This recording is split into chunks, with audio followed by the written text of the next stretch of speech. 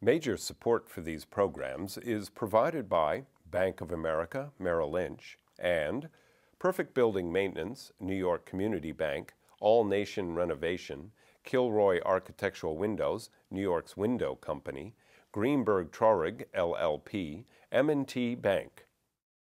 Additional support is provided by AVR Realty Company, LLC, Ackman Ziff Real Estate Group, LLC, Bingham McCutchen, LLP, Briarwood Organization, Capital One Bank, C.B. Richard Ellis, James Orphanides, Centurion Holdings, Cushman and Wakefield, Dimes Savings Bank of Williamsburg, Douglaston Development, DDG Partners, Eastern Consolidated, Hal Fetner, Durst Fetner Residential, Friedman LLP, Accountants and Advisors, Gemini Real Estate Advisors LLC, Genova Burns and Gian Tomasi, Grubb and Ellis, Investors Savings Bank, Jack Jaffa and Associates Real Estate Consultants, James D. Kuhn Real Estate Institute at Syracuse University, Madison Realty Capital, Massey Knakal Realty Services, Meridian Capital Group, Margolin Weiner and Evans LLP,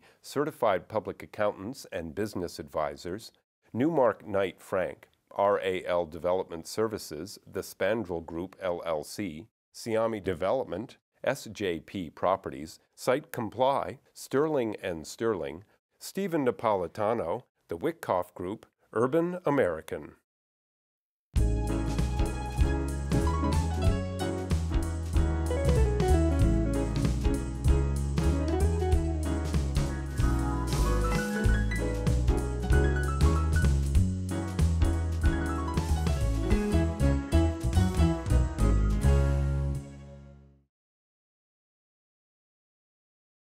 There are characters, there are individuals in New York City. There are life stories of people. You know, and I've done many of them, but it really is an honor for me to tell the life story of a friend of mine who I've known for close to 30 years. The kid from the Bronx, the real estate developer, the owner of property, the restaurateur, but more important, the, the philanthropist, my friend Arnold Penner. Great to have you here. Thank you, Michael. So, Arnie, you know, it was Ethel and what was it? What Harry. Was Harry. Harry or Henry, whichever way. Okay, well, uh, Ethel and Har- Henry. Right. And Ma, he, Pop was a, what, a welder? Welder. He was, he was, a welder. Mom was a milliner.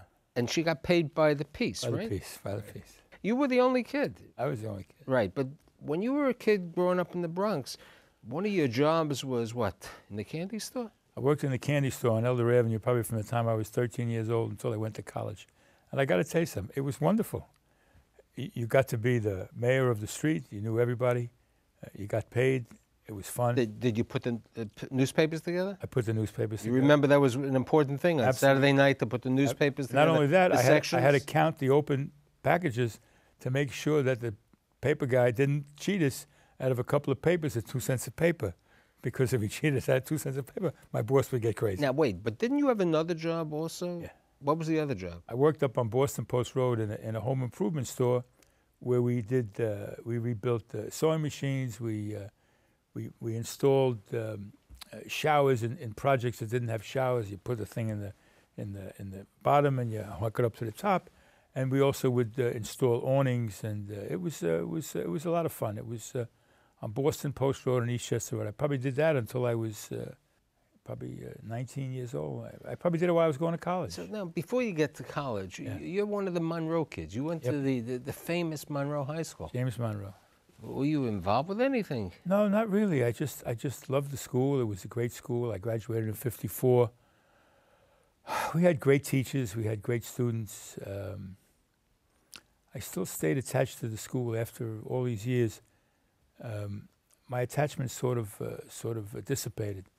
Uh, there, there, was a guy, um, I, I, Ira, um, I forget his last name, but Ira, myself, and Steve Siegel, who also went to Monroe and he graduated a couple of years after us, we really stayed close to the school. We supported their baseball team. We, we, we, we gave them we gave them incentives for, for students who, who did well.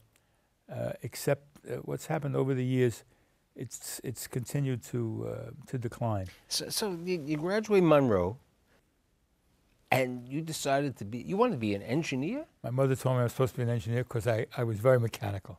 So I went to City College. Went to City College Uptown. Uptown. Uptown. Uptown. Remember, Uptown. you weren't allowed to come to the borough of Manhattan at that time. I You- didn't know where Manhattan was. You never learned about Manhattan. learned. And, and City College, it was a, a I s- situation. I stayed there for one year.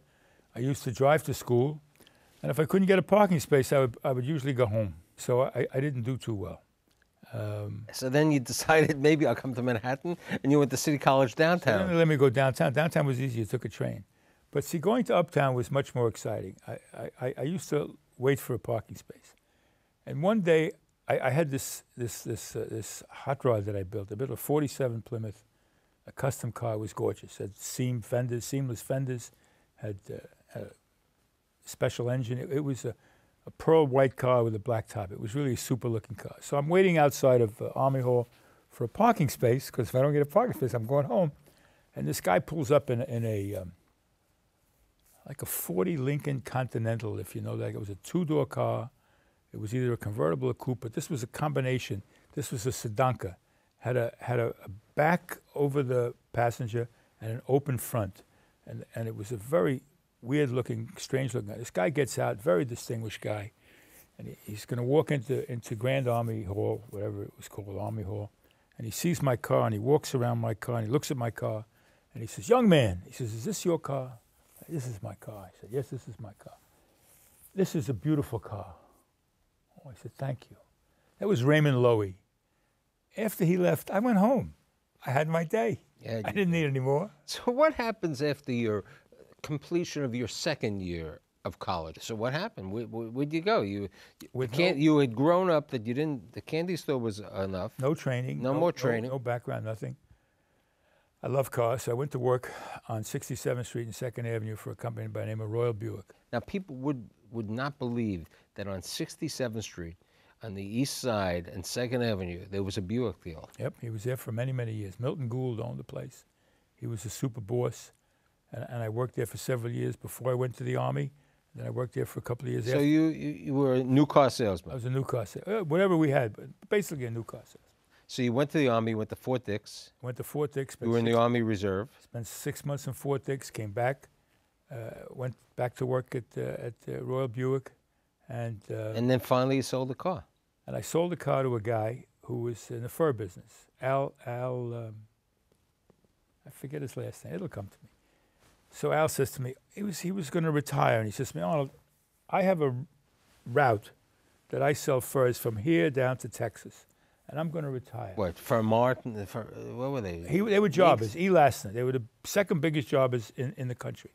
And Al, Al said to me, uh, Arnold, why don't you take my route and you travel my route and you make a good living and it'll be a lot of fun. So I said, maybe it will be. So I took the job. I went to work for Elastner and I traveled for a few years from New York to Washington to Atlanta to New Orleans to Ma- Alabama uh, to Texas, uh, selling furs, uh, uh, either in trunk shows or in in uh, hotel showrooms, and and, and it was uh, it was okay. It was sort of fun. A lot of work. It, I either would drive with the furs, fly with the furs, train with the furs, but it was you know somebody was So- paying me. So now you come back, and what happens one day? Now you were in the building where Theodore Kheel. Yep, I was uh, in the property. 315. I was in 315, 315 7th Avenue. Avenue. uh, Teddy Kheel's uh, uncle uh, owned the building, and I was kibitzing with a guy by the name of Jack Walser, who was a, a retail furrier.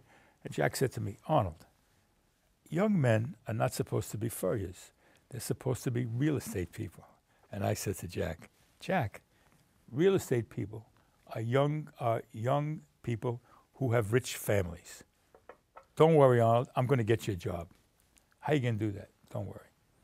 Jack took me up to Brown Harris Stevens, 14 East 47th Street, introduced me to Elliot Stoyer, who was a net lease specialist and, and a lovely man. And he took you to Schrafft's for lunch, right? He took me to Schreers for lunch, and then he took me to meet John White. John White was the premier real estate appraiser in New York City at that time, and also created a training program in Brown Harris Stevens that didn't exist anywhere else in, in the industry. You came into the company and you went to each department industrial, commercial, residential, management and then you would spend a little time in that department, and then you would decide what do you want to be? You want to be a leasing broker, you want to be a retail broker, you want to be, and then you would pick your field, and then you would stay in that department. So I, I, he hired me. I was the only guy that, that he hired who didn't go to college, so I, I sort of felt pretty proud of myself. And he put me with Andre Bonnell, who ran the industrial department. All of these names mean nothing to people today because we're all gone. This, this is, I'm talking about the time period of uh, uh, Aaron Gural, of uh, Norman Levy, uh, uh, Harry Helmsley. I'm talking about the times when real estate was a very intimate. So, so, so here's the kid from the Bronx who's in the industrial business, and you're trying to, like everyone in the real estate business, you're canvassing, you're going around. And Andre had this idea of moving the printing business from the 20s to. No, from, from, from uh, he, he was going to move him down to, to Trinity uh, Square. Trinity. Right, the Hudson And that's why he kept me in the industrial department because he was friendly with, uh, I forget, I forget everybody's last name. The Harry, church. Harry, whatever it was, who ran Trinity Church, and they were going to create a whole new printing industry down there, a global printing industry. Which they did subsequently. Yeah, and then of course it subsequently died, and now they get fifty dollars a foot instead of a dollar a foot. So I, I stayed in the industrial department. I canvassed the industrial department. I would, ha, what is a real estate broker? He canvasses. That's how he gets his deals. And I would canvass the streets, the industrial streets, and I canvassed some street on, in the 20s, and I found this little printing company, and he needed more space, and I wound up moving him To 260 West Broadway. 260 West Broadway, the which, American Thread Building. which What today a is a very, very valuable condominium building. Uh, in fact, I even have a dear friend, Red Grooms, the artist, lives in that building. He's, it's when it was converted. So I moved this guy to 260 West Broadway. Everybody's happy, and I get a knock on the door at uh, Brown Harris Stevens. Who is it? The FBI. Why? What's your relationship with the Daily Worker? I said, What's the Daily Worker? The guy I moved who printed this little newspaper was the guy who printed the Daily Worker. well, nothing really came of it, but it was sort of funny that that was the first true deal I ever made. But you know, you, when you and I met, we were talking about the many people that we do know in the real estate trade and the fact that you can be dealing with somebody you may have dealt with a grandfather, their father, and the son. And one of the deals that you also made was with our mutual friend Ricky Rackow, who was working for his cousin, uh, Bert Resnick, or really for Jack Resnick. The first real deal I made, I made with Jack Resnick and Sons. Ricky was their lead lead agent, and I made a deal for Elliot. I forget Elliot's last name. Also, Time Letter Services in 250 Hudson Street, Which they still own. which today. they are still there, and which Resnick still owns. I rented them a floor in 250 Hudson Street. Now, at that time, Jack Resnick was the lead partner in the company, right? Since that time, Bert Resnick, Jonathan Resnick. There's going to be somebody else after Jonathan Resnick. I think it's fascinating that a kid my age could be friends with the grandfather, the father, and the son. Three generations of Resnicks, and they're my friends. So now here's the question: You you met Jerry Cohn, you met you, you met Charlie Borak, you met all these guys during the life. How how do you get to own your first building? I really didn't like doing brokerage because I never did it on a grand level. Guys do it on a grand level. Charlie Borak, when you say, you know, he could move uh, three, four hundred thousand for tenants. So I only did little deals. I was doing industrial deals. You make move a guy makes a dollar a foot rent. So I thought maybe I would buy some buildings. So uh, I met a guy um, through Jerry Cohn. I, I met Jerry when Jerry and, and Lou Smadbeck owned William A. White. And uh, a, a good friend of Jerry's was a fellow by the name of Al Marcus, who was a building inspector up at uh, Englewood Cliffs, who became friendly. So I said, Al, could we go find some buildings? So we found a building in, in, um, in uh, right near the Washington Bridge. Uh, um, uh, the name of the tenant was uh, Tom Burrell Products, and we bought this building. That was the first little building I ever bought. I don't even remember when I sold it, but I know I don't own it anymore. But it was much more fun owning the building, even though it was insignificant, than having to always look for new tenants. But then you told me you, you met your friend David Burley. He how do you get to be? And that's really when you got into ownership more buildings. that, that was an interesting event. Charlie Borak, who I became friendly with at William A. White uh, when I was there, um, didn't think he was being fairly treated. He wanted to become a partner in William A. White, and they didn't seem to want to make him a partner. So I said, Charlie, I, I, I know this guy, David Burley. He's got this company where he buys deals, and, and maybe you should go meet David with me, and, and uh, you would create a whole leasing department for David, and you would own the company. And I, and I put Charlie together with David. And, and uh, what Charlie was really doing, he was chumming so he would get a better position up at William A. White. But, you know, that's okay. And I, I sort of became friendly with David at that point. And, and David said, Why don't you come here? So I said, Not a bad idea. And uh, fast forward, I joined David and, and, and, spent many, many years with David, uh, buying deals, um, developing some deals and and uh, and becoming an owner of. Uh, now there there are certain other interesting people who helped you and changed your life. One of them was Larry Friedlander. That was an interesting story. When I worked for William A. White, and uh, and Louis Smadbeck owned the company, uh, Larry was a good friend of uh, of uh, Lou. So Lou came to me one day and said, Arnold, my friend Larry Friedlander, a lawyer, has a client, has a building up in Ramapo, he doesn't know what to do with it. Would you go take a look at it? I said, no problem. So I drove up to Ramapo and I looked at this building. It was on Route 17, right after Motel on the Mountain, which I don't know exists, but I don't know if you guys remember Motel on the Mountain. So I looked at the building. It was a big uh, one-story uh, steel building, uh, uninsulated, uh, alongside 17 and the river. And, and Larry's client didn't know what to do with the building. So I said to Larry what I thought the building was worth, and Larry said, oh, let me see if I, what I can do with my client. And Larry said, I'm going to make a deal with my client to take over the building. I said, well, that'd be great don't pay me a commission. Let me let me be your partner in in, in uh, operating this. Larry said, okay. So I wound up being Larry's partner. He paid me a commission anyhow, and and we took over this building and had a really fun time with it. If Michael wants me to tell more stories about it, it'd be even more fun. And that's how Larry and I became friends uh, 40 some odd years ago. Right. We've, uh, and we've still been doing all these things uh, for 40 some odd years. Right. You, with him, you own the ground under the Crowne Plaza Hotel. Right. We own a piece of that. You know, and you, have owned other things. How do you meet the, uh, the, the guys from Austria? Uh, Austria. The guys from Belgium. Belgium. The Belgians. Belgium, yeah. We we, uh, we we we we've we've done a lot of things together. And when the market got bad, we used to lend money together. I introduced Larry to David and, and, and Larry has you, been a, know, great force in, in helping David grow. So, somebody that you and I remember uh, had an interesting effect in your life. A love hate we could kibitz was Mike Wolfe. Mike Wolfe was Mike Wolfe. Mike Wolfe was the most incredible man you ever met. He he um, he was kind and, and generous beyond belief. He he was always wheeling and dealing. How he ever got home at night, I'll never know. He made so many stops uh, Mike Wolf is basically a, a, leasing broker. And I don't remember how I met Mike, but I said to Mike, Mike, you know, I don't want to be where I am. I'm going to move into your office and we'll hang out together. So, so we spent we spent several years together. And, and, and but that's how you got into the restaurant business. Yes, I mean, I, I yes, failed yes, to say at the beginning, you are the principal owner of PJ Clarke's today, but we'll get to that in a second. So what happened? Michael Michael was the managing agent for a building on 43rd Street off Broadway where the Century Cafe was. The Century Cafe was run by a guy by the name of Phil Scotti, who Michael was very friendly with. So I don't know how they davened this all up, but they decided they wanted to build a restaurant downtown, and we would all put this together. We'd all go into this deal.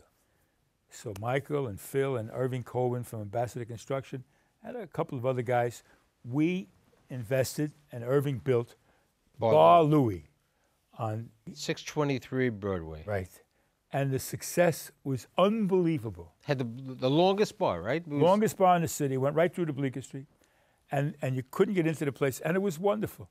And the only problem with the place was everybody used to sign my name. It used to cost me two, three thousand a month in chits that I used to have to sign, but we had a lot of fun. Um, but then you got to what? You got to the Boulevard restaurant next. Then, then, because we were so excited there, we bought the Boulevard up on 88th Street in Broadway, and then and and and we ran and we ran Bar Louie for several years, and for some unknown reason, which I'll never, ever, ever understand, Bar Louie slipped away, and we wound up not even selling it, but giving it away to Michael Weinstein, who still has, after all these years, Pancho and Lefty's there. But it was uh, the uh, the New Orleans chef. Paul oh, he was across the street. Uh, Paul, Paul, Paul um, yeah, he was. He was, yeah, he was yeah. in the. And by the way, this was before chefs. That neighborhood was anything. So, so We were the only drawer so- in the so be- neighborhood. before I get to philanthropy and other Yeah. things, let, us talk about how do you, how do you get to uh, PJ Clarke's? I still remember the day when I when PJ Clarke's, PJ Clarke's was a mistake. What had happened was, somebody called me up and said PJ Clarke's is uh, available. I said, I'm not in the restaurant business. Forget about it. A week later, somebody called, oh, PJ Clarke's is available. I said, I'm not in the restaurant business. Don't bother me. And I would get call after call. In fact, one of my partners called me up and he said, Oh, you know, we could buy PJ Clarke's. We did a whole analysis of it. I said, So what did you do with your analysis? We don't know. And I don't know, I bumped into Philip Scotty, my old partner from, from Bar Louie, and I said, Philip, you know, PJ Clarke's is available. Danny Lavezzo, who owns this forever, is in financial trouble. He's totally neglected the restaurant. He's terribly ar- arrears in his rent. And you could buy PJ Clarke's. Philip went ballistic. Let's get it. Let's get it. Let's get it. So we went to work on getting PJ Clarke's, and of course we were too overly aggressive, and we probably could have made a much more attractive so deal. you opened up the first PJ's. No, no, let's get to the point how we did the deal. So we met Danny, and we said to Danny, Danny, why don't you just go partners with us, and we'll take over the restaurant, we'll pay all your arrears. And he had some other guy advising him, who I won't mention the name, and the other guy said, oh, these guys are full of baloney, they'll never do anything. So we went to court, and Danny, like a fool, declared bankruptcy, and we raised our hand, and we said, we'll take it. And we paid the arrears rent, which was maybe $400,000, and we paid it to, uh, to um, Rickson. Rexon, and we and we negotiated a new lease. And and Danny, who could have stayed there as a partner at one hundred and twenty thousand a year, our rent went to six hundred thousand dollars a year. And, and that was the end of Danny and the beginning of PJ Clarke's. So now PJ Clarke's then opened up in Columbus Circle, No, we opened up. We opened up in in uh, in uh, World Financial Center. World Financial Center, then Columbus Circle. Then we had an opportunity. Uh, we always wanted to be at Columbus Circle, not Columbus Circle, Uh, Lincoln, Lincoln Center. Center. Lincoln Center. somebody introduced us to uh, to Irving Sturm, who had the lease on uh, on the restaurant in the Empire Hotel, and we sat down with Irving, who was litigating with the landlord, who was Joe Chetrit at that time, and and uh, we we shook hands and we made a deal and we went partners, and Joe Chetrit, who happens to be an incredible guy. I mean, he's uh, You've been so involved in giving back. As you, as you said to me, you know, if I have it, I'm going to give it away. And you have given it away. And, you, know, there are many charities that you've been involved with, you're a trustee, you're an overseer of the, of the Albert Einstein College of Medicine, uh, American Art, uh, and the National Dance. But your, your major things have been Einstein, Einstein and National Dance. Let's talk about that. if a person is really lucky enough to succeed in life and to have more money than he needs, what should he do with it? I mean, should he keep it? Should he put it away in the bank? Or should he give it away to society and help society? Because if we as individuals don't help society, society can't survive. So, through Michael Wolff and Ricky Rackow, I met Einstein and, I, and Einstein became a very important part of my life. Through a friend of mine who introduced me to Jacques D'Amboise, I met National Dance Institute. Einstein, you know, it's a medical school. National Dance Institute is an organization that Jacques D'Amboise, who was probably the premier male dancer in America uh, at New York City Ballet, when he retired, decided, let me create this thing and give back. So he created this, this organization which brings dance to the schools all around. It's not New York anymore now, it's all around the world. And, and through dance, which is not real dance, it's dance which everybody could do, you, you could make a child feel so powerful, so empowered, so successful that you could actually change their direction. So I, I thought that was wonderful. So I've been a part of, of, of that organization. For, and let me just say one more thing. And for the first time in our 35 years of life, we've just acquired our own home, The PS. Uh, PS 90. Through Ron Molis, we bought up on 148th Street off, off, uh, off uh, Lenox Avenue. We bought a uh, 18,000 foot condominium uh, where we'll have studios and offices and be able to expand our program Uh, Another important thing in your life has been the Friars Club. the Friars Club. You're the only guy who owns PJ Clarke's, which is two blocks away from your office, and you eat every day at the Friars Club. never go to PJ Clarke's. Friars Club is absolutely ridiculous. It's probably the warmest, intimate club in the world. I walk in there today to have to have lunch with my friend Stewie Cantor, who I have lunch with every day. And I walk into the dining room to check and see who's there. And there's Tony Haber having lunch with somebody. There's Irv Welser having lunch with somebody. There's, and I, you just walk around the room, and everybody says hello. Then we sit down in the bar. We eat in the bar, and there's Larry. Larry's sitting there. I haven't seen him in a long time. And there's this guy, Irving Feldman, who I never met before, who I became friends with today. And it's just such a warm and intimate. And then you were asking for me, and it was the other Stoller. right. Then I'm then I'm paging Michael Stoler, and I say, "Get me Michael Stoler. We'll drive downtown together." And and Franco Capitelli, our captain for 50 years, comes in and said, "It's the wrong Michael Stoller." Okay, Hey, you know, at least the Friars has two Mike Stollers. that's that's uh, You- fascinating. You, you know, that's that's the Two Mike fascinating Stollers. over there. Two Mike Stoller. So, yeah, you know, let, let's talk. Uh, there's Mimi. How many years have you been married to Mimi? Well, we're married uh, 14 years. We're together 25 years. 20, 25 years of, uh, of just wonderful happiness. It's really nice to be uh, to be mated with somebody who makes you happy and you look forward to being with every. Uh, But you know, besides Every- giving back, you like having parties, you like having fun. oh. You know, as I said, I was with you in your 55th, your 60th, 65th. I missed the 70th. Michael was- remembers my birthdays better than me. My 70th birthday, we had a funeral. My 65th birthday, we had an AARP party. My 60th birthday, we had a bar mitzvah. My 55th birthday, we had We just had dinner at Mulligan's. We just had dinner at Molly's. But they've been they've been they've been wonderful. They've been wonderful parties. We, we get all our friends together, and, and we celebrate the fact that we're still here. Uh, that ain't easy, you know. Being here is uh, sort of a job. So you know, for the kid from you know, from the Bronx who who really loves, I mean, I, I, with cars, got a car collection. But you know, I still remember one of the days that we went to an Einstein function and we stopped on the road. You're driving in this Bentley, and you had to pick up a hubcap That's right. because you know the kid from the Bronx On Bruckner Boulevard. on Bruckner Boulevard never forgets and never changes. So, Arnold, you are indeed a friend. You are indeed a builder of New York, and you are truly a New York City life story. And thanks for being here today. Uh, thank you, Michael. This is a, a big honor for me. Thank you.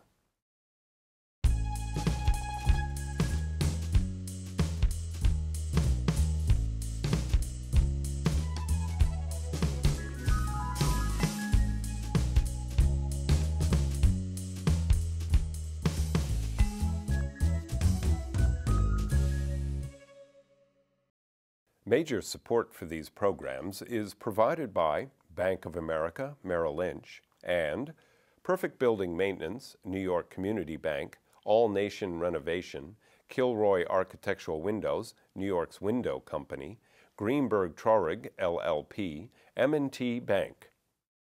Additional support is provided by AVR Realty Company, LLC, Ackman Ziff Real Estate Group, LLC, Bingham McCutchen, LLP, Briarwood Organization, Capital One Bank, C.B. Richard Ellis, James Orphanides, Centurion Holdings, Cushman and Wakefield, Dimes Savings Bank of Williamsburg, Douglaston Development, DDG Partners, Eastern Consolidated, Hal Fetner, Durst Fetner Residential, Friedman LLP, Accountants and Advisors, Gemini Real Estate Advisors LLC, Genova Burns and Gian Tomasi, Grubb and Ellis, Investors Savings Bank, Jack Jaffa and Associates Real Estate Consultants, James D. Kuhn Real Estate Institute at Syracuse University, Madison Realty Capital, Massey Knakal Realty Services, Meridian Capital Group, Margolin Weiner and Evans LLP,